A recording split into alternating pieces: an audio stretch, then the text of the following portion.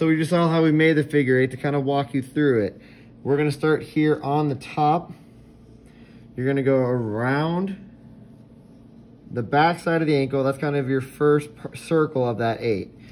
You're then going to go down the top of the foot, around the arch, come on the other side of the arch. You're now, here's your middle part of the eight. And you're gonna finish that circle up top. So you see that here's one circle, and here's another circle, this being your middle point, and that is going to be your eight.